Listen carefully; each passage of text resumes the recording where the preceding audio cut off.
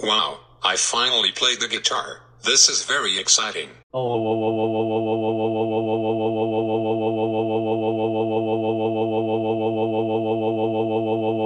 Yo, Junior, how dare you play the guitar at school? You know it's very annoying in this school. You can play the guitar at home, not at school. That's it. Go home right now.